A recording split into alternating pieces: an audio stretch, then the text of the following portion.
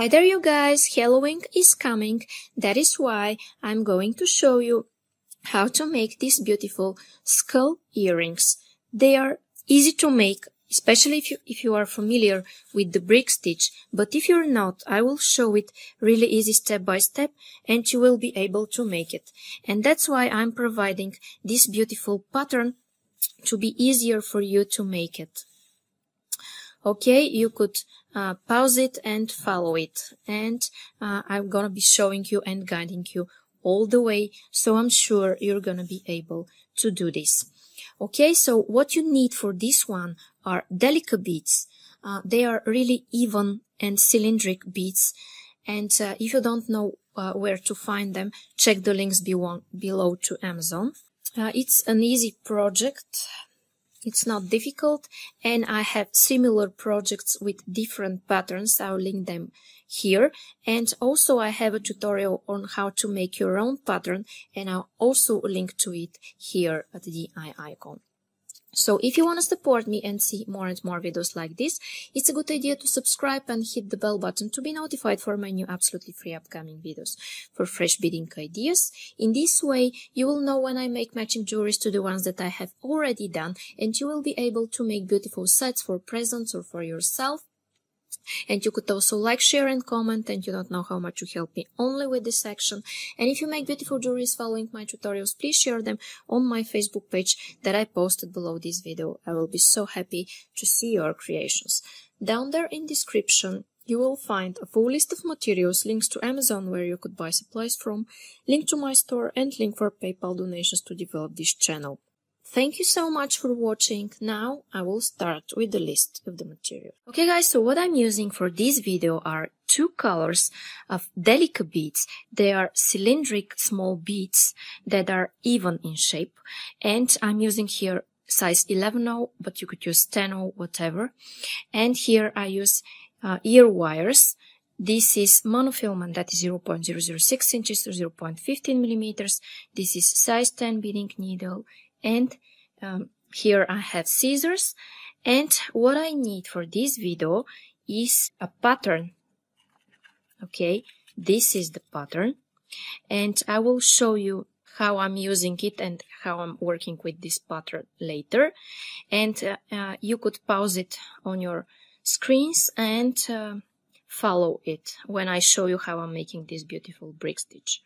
Okay and now I'm going to put about 4 feet of thread on my needle and I'll be back. Okay guys, and 4 feet of thread, this is 1.2 meters for those who measure in centimeters. And now guys, I'm going to start with my brick stitch. And in order to start, I will take this pattern here, you see, and I will start from its upper part. You see here on the top I have three beads. Here I will remove this uh, uh, most top bead here because I won't put it because here I will put my ear wire at the end. So I will start from these two leg beads. And I'm starting by picking up those two black beads okay? You see the cylindric shape. And I'm sliding those down. And here I will uh, I will leave about um, 10 inches of tail, which is about 25 centimeters. You see I'm leaving a tail here and I'm going to make a knot here, okay? And I'm making my knot by making here a loop and I'm going twice here through this loop I've made and I pull.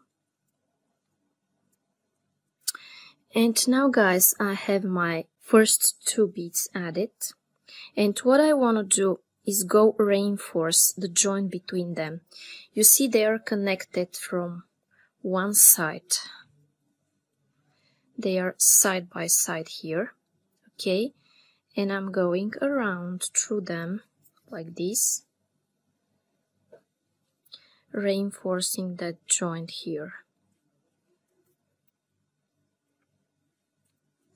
And this tail thread here I will use to attach my ear wire at the end.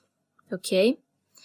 Then what comes in my scheme are black, white, black. Okay. You see, this is the third row black white black and I will turn my work in this direction my thread is going out of this left bead okay and what I'm going to take are the first two beads a black and a white. And this brick stitch it's done by going under this thread bridge between uh, the beads. This technique is used anywhere. If you are not familiar with the brick stitch don't worry. I will show it here really slowly. Okay? Now I've been through this under this brick stitch and then I will go through this white bead that's closer to the center of my work. I'm going through it and when I pull you see what I have. Those beads stay next to each other. And now according to my scheme I need one more black bead that is why I'm taking it. I'm going through the closest thread bridge. I will always go through the thread bridges here I pull and when I pull I go back again through the same bead that I added. Now what I like to do is to flip my work. It's not obligatory but I prefer to do this, okay? Now I will take my scheme and here you see the third row is black, white, black and now I have black, two whites and black. Now I will start with a black and a white. I always start my row with a black and a white. Uh, with uh, two beads, I mean. Not with a black with white, but two beads, whatever color they are. And now I take those two beads and go through the very first thread bridge. When I expand my work, which will be until the center of my figure, I will go when I add two beads in the beginning of my row. I will go through the first thread bridge. Okay. Now according to my scheme I need a white and a black. In the next one I'm adding one by one. Okay a white. Going through the following thread bridge. Like this. Then going back through the bead that I just added like this. And then adding one black bead and I'm going through the last thread bridge that I've been through with the white one. The one that's closest to my work. And then I go through this bead that I just added. Okay okay now my fourth row is ready. Okay. And now guys it's time to add this row here. Two blacks one white two blacks okay? And I flip my work again. And first I need two blacks. The first one I'm always adding two by two going through the very first thread bridge here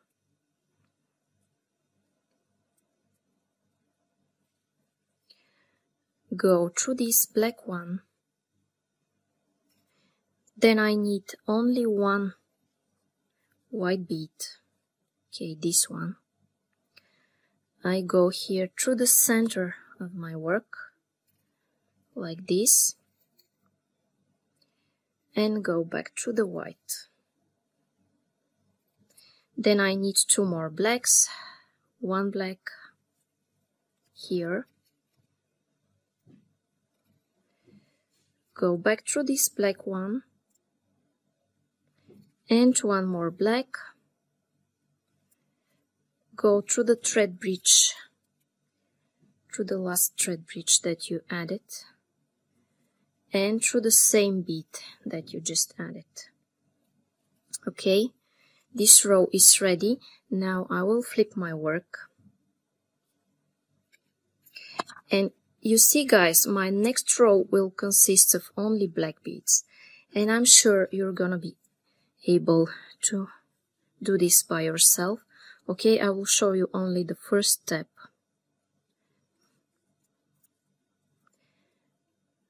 okay here my first step is go through the first thread bridge then go through the, the, the bit that is closer to the center of my work now add only black beads until the end of this row and I'll do this off camera and I'll meet you here. Okay guys, and I'm here where I just added my last sixth black bead from this row and now I'm going to flip my work and I will show you my next row where I'm starting my skull. Okay, the first step is to take two black beads, then three whites and two blacks okay I will show you the first step two blacks.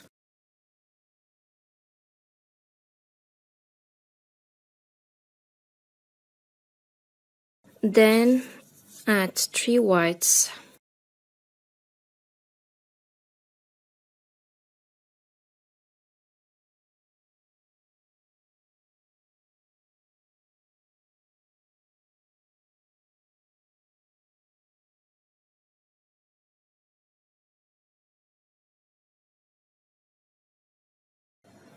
and two blacks.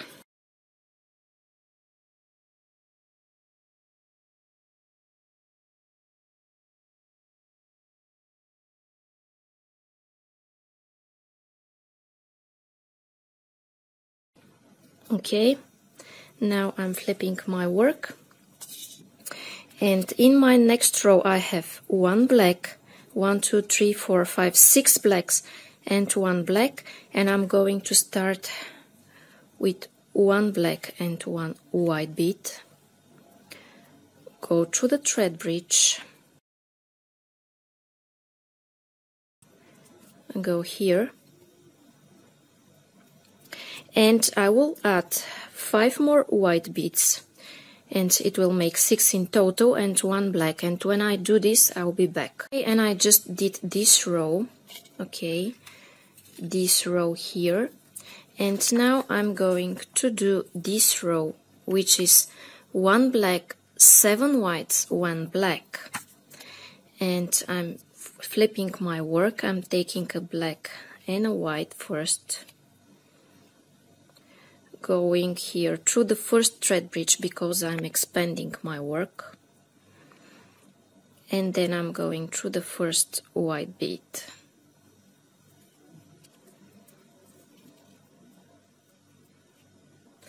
Then six more white beads and one black and I'll do this off camera and I'll be back. Okay, and here I am where I'm adding my last black bead from this row and I'm going to flip my work. Then in my next row it's more complicated. Black, white, two blacks, two whites, two blacks, white and black. Okay, pause this video, do this off camera, and I will also do this and I'll be back to show you the result. Okay guys, and I just added this row here, the upper part of the eyes, and now I will add this row, black, white, three blacks, white, three blacks, white, and black. Okay, you could pause this video, do this, and I'll be back to show you the result. Okay guys, and I'm here where I'm adding my last black bead from this row and everything is always the same I'm showing.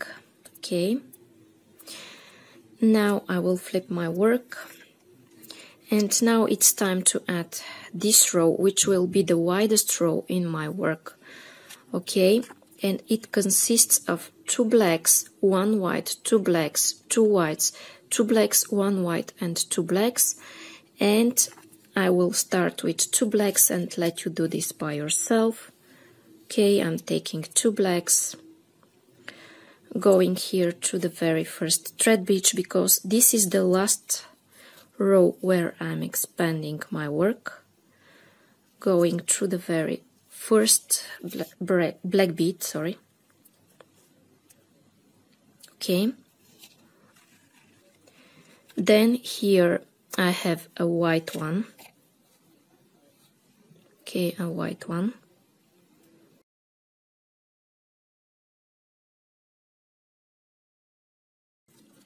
okay? And now guys pause it. Do this until the end of this row and I'll be back to tell you what's coming up next. Okay? See you in a while. Okay guys and here I am where I'm adding my last black bead from this row.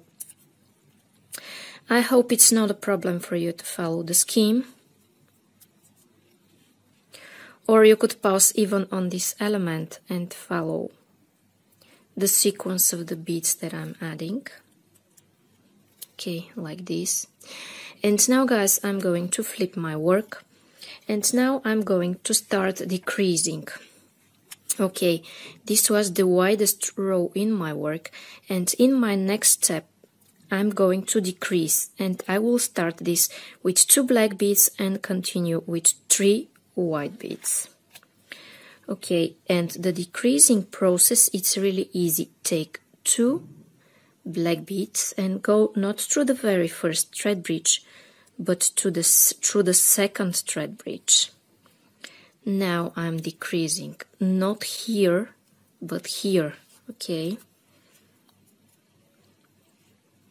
And now those beads stay really strange. That is why when I decrease, I'm going to make an additional step not only going through this first uh, bead here, but you see how this sits not straight. And I will go also through this one and then back through this one again to make them stay nice and even. You see, you make this only in your first step then in my work it comes three white beads and I'm going to add them.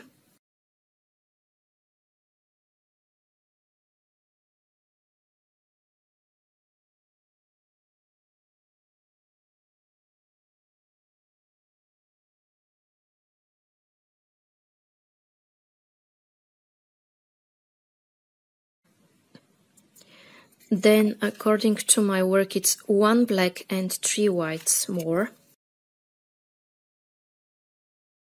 This is the top part of the nose of my skull.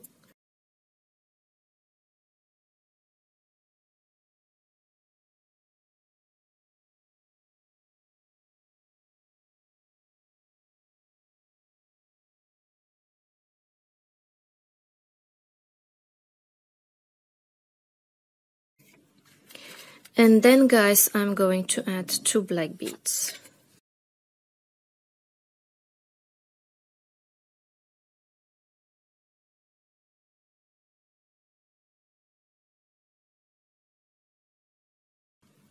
Okay guys, and now my first row of decreasing is ready and I'm going to flip my work and I will show you one more time uh, the decreasing process, okay? Here I also have two black beads and two white beads and then my nose two black beads. Okay I will start with two black beads and I'll show you the decreasing process one more time. Two beads not go here through the first one but go through the second thread bridge. Here you see this one is empty I'm going through the second one.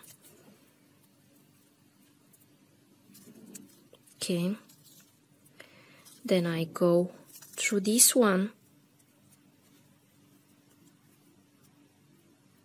But always when I decrease I go through this bead and one more time through this one here. Okay. And when I pull you see what I have. Now pause this video and add two, two whites, two blacks, two whites and two blacks. Okay, I'll do this off camera and I'll be back. Okay guys, and I just added here this row. This is the last bead from this row. And now I'm going to show you one more time how I'm starting uh, uh, the next row of decreasing. Okay, two black beads, one, two, three, four, five whites and two blacks and I will show you the decreasing process one more last time. Okay, two beads, then skip the first thread bridge and go through the second, you see. This is the difference. When I'm increasing, I'm going through the first thread bridge and now I will go through the second one. Okay, then I have one more additional step. You should remember only this rule that you go through the second thread bridge when you decrease and through the first when you increase. And when you decrease you have an additional step of reinforcing your beads to stay in a nice shape. Okay? Then guys pause this video. Continue with one two three four five whites and two blacks and then continue until the end of this row and I will meet you here guys. I think you get the idea of the decreasing process and I'll meet you here and show you how to finish your earring. And here I am guys at the end of my work. And now I need to add two blacks and then one black. Okay, I'm taking two blacks, going here through the second thread bridge,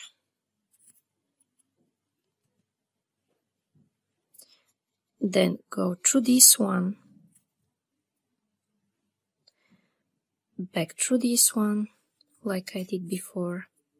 Everything is the same only that this way consists of two beads instead of more okay? And then I need to add the last black bead going under this thread bridge here then I'm going back through it. Like this. Okay guys now I have this. And then I will go here through some beads in this direction. Make some knots and cut my thread. Okay here I make a loop go once through this loop. I've made and I pull and I'm going to repeat this go through the following seed bead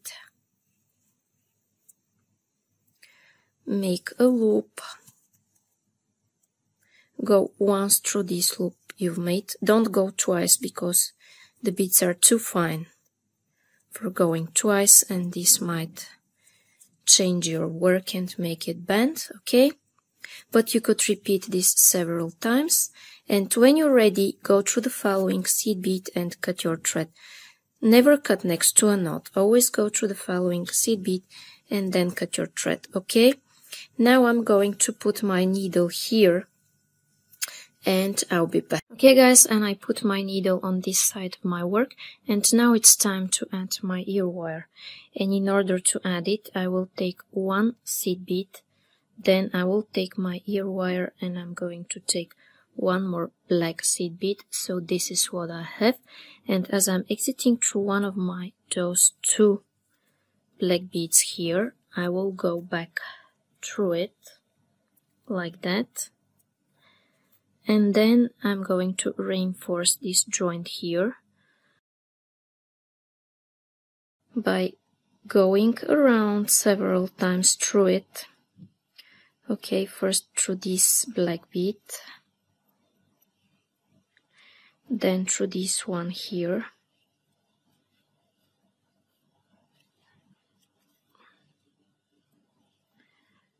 Okay